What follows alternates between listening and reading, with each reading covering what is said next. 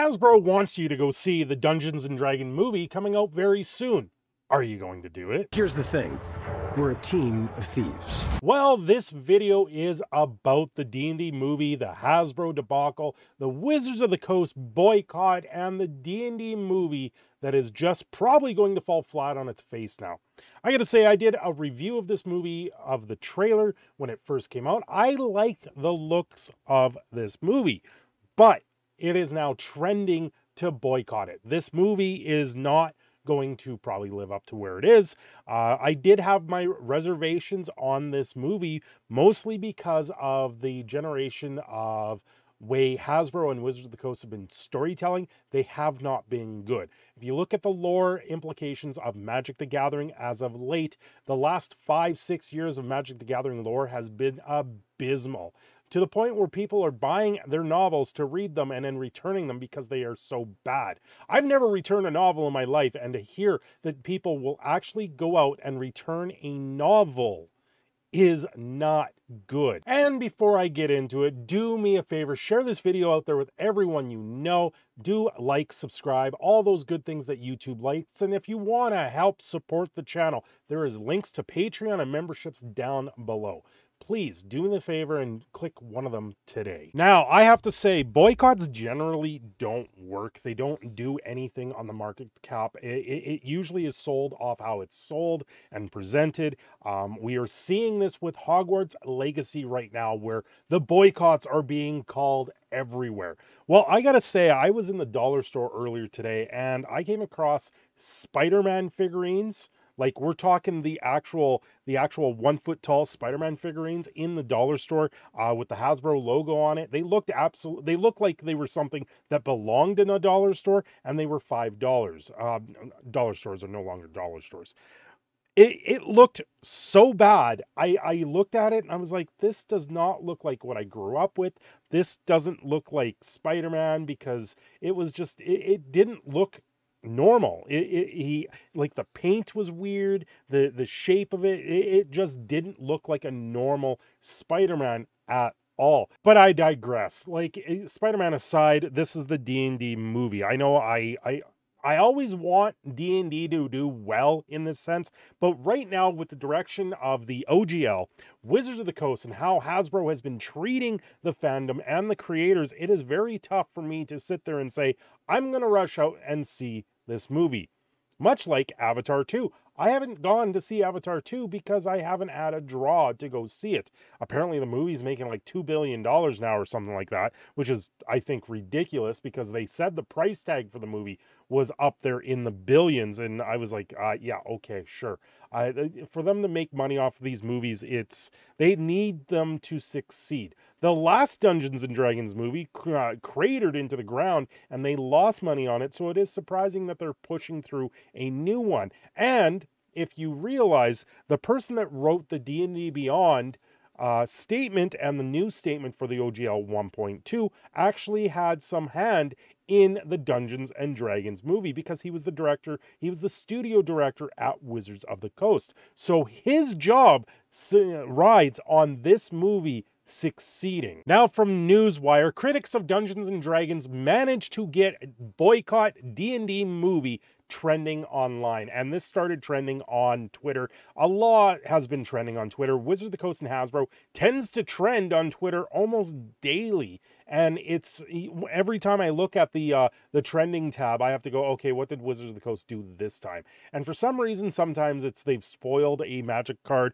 Other times, it is a complete fiasco. Uh, it, this all started probably back at the Magic 30 getting out there when when the Magic 30 was released for four booster packs for a thousand dollars of cards that you cannot use legally in any sanctioned tournament. It, it's absolutely ridiculous how much money Hasbro thinks you have in your pocket. A lot of people are broke right now, so we'll have to wait to see how this movie does. A few months ago, there was serious controversy brewing in the world of Dungeons & Dragons as fans began to hear rumblings from D&D owner Wizards of the Coast, itself owned by Hasbro, about upcoming changes to the open game license, an expansive document that allows third-party publishers to use elements of Dungeons and Dragons rulebooks, classes, spells, and monsters, for instance, but also base gameplay rules like rolling a 20 sided die to resolve attacks or skill checks for their own content. Now, here's the thing rolling a 20 sided die, I spoke at length about this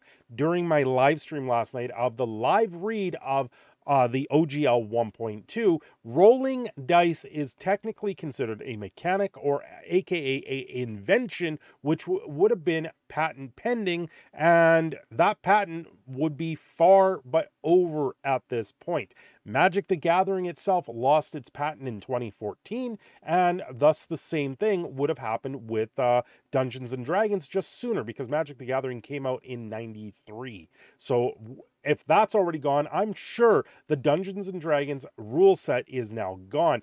Now, a little digression there, that would have been on the original rule set for first and second edition. Third edition uses the D20 system, but that still came out in, I think, around the 95, 96 era. So they would, they probably have that patent gone. If you go in and actually look into the patent office for the done, for Magic the Gathering, you will see that they have the tapping and all the abilities, all the mechanics of the game uh, as part of that patent, and that is why you no longer they they no longer have it. It just gets to the point where an invention that comes out on the market now becomes open school. So it's very tough to say that Wizards of the Coast and Hasbro can continue to push this forward. The OGL 1.2 uh, negates anything before fifth edition of D&D and because of that you won't be able to make anything prior to that it will deauthorize anything that was made with that so the the deauthorization of OGL 1.0 makes it very tough and difficult to go forward with anything that Hasbro is pushing out. This is to me is like Windows when they update and stop servicing older versions older versions of their OS of their operating system. So recently we have Windows 7 and Windows 8 that is being deauthorized by Windows. They are no longer going to support this and going forward it'll be Windows 10 and Windows 11. This is the same thing that Hasbro is trying to do, but this is a paper form. This is a book form. If you have the old school books, you can still pick it up and play it. It's not like Hasbro can come into your house and tell you you can't play this. Now, what this what they're trying to do is tell people that want to make adventures with the new publishing idea is that you have to play with the fifth edition going forward. You have to upgrade your operating system. And then from Game Rant, Dungeons and Dragons fans call for boycott of Honor Among Thieves movie.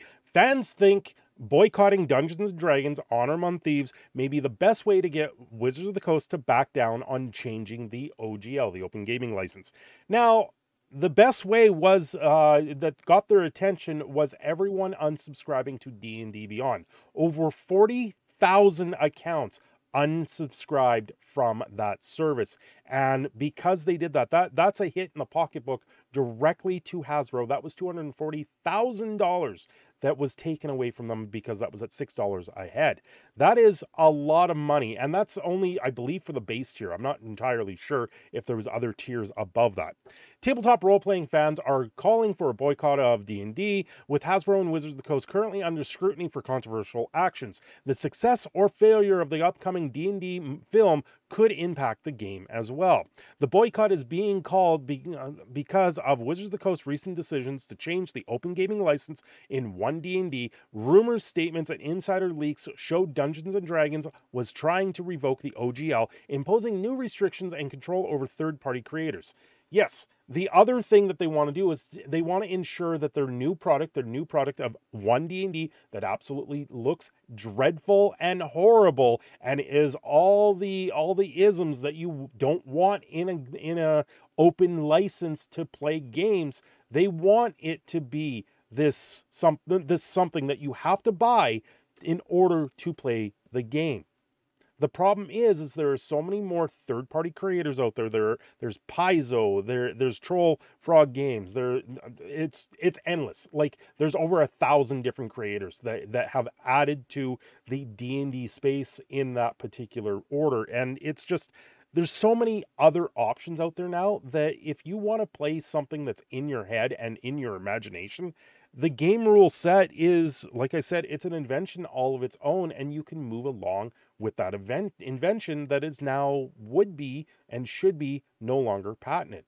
That would come down to the court of law to be able to, mm, for Hasbro having to enforce this. Yes, they have a lot of money, but will the courts actually side with this? That's where we don't know and where things go awry.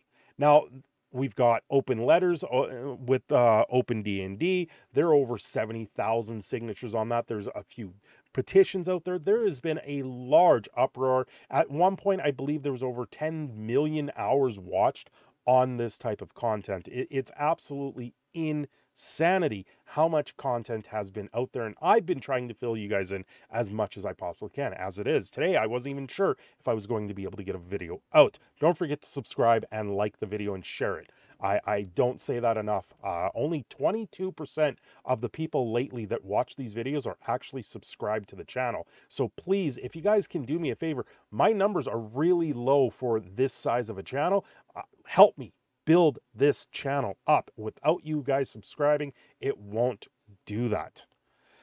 Um, there was a spotted on Reddit. I've seen this post going around. Uh, TLDR Hasbro really needs Honor Among Thieves to work out for them more so than the subscriptions of D&D Beyond, and they will be forced by shareholders to stop messing with the OGL to make sure the movie has a good release. Credit to Super Fun Pop, link below, and there's a whole whole subreddit about it.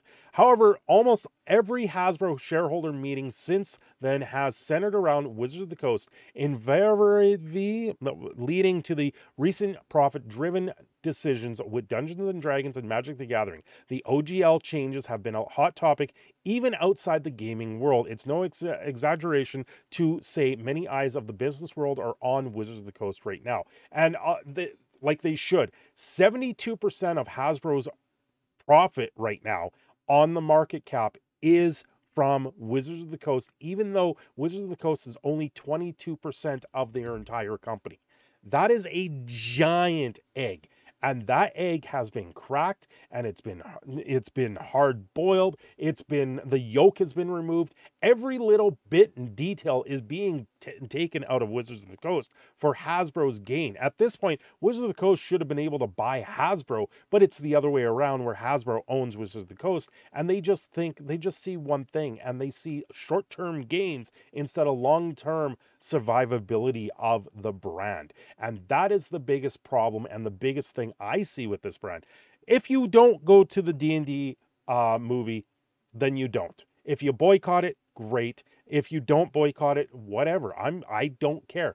Me personally, at this point, I said it in my live stream last night that if I could go see it, if I could sneak into the theater and not have to pay to go see it, that would probably be sending more of a, a shock, saying, "Yeah, I went and saw it, but I didn't pay to go see it," type of thing. It, it's more, it's more. Uh, trying to do that little thing that they don't want you doing in the OGL because in the newest OGL you're not allowed to do anything uh, illegal period uh, to do with your game writing meaning you're not allowed to pickpocket as a thief. You're not allowed to go around and actually be the murder hobo party that you want to be because it's got to be written out of the story. And that is where I sat there and I went this OGL is not going to go over very well. There's the new survey for it, and I will be taking that on a live stream later today. And hopefully, you guys tune in for that. Until next time, you guys have a great day. I'm your proud Canadian Phoenix, Cinder Shadow, signing off here. Don't forget to like and subscribe, and please, please like and subscribe to the video today.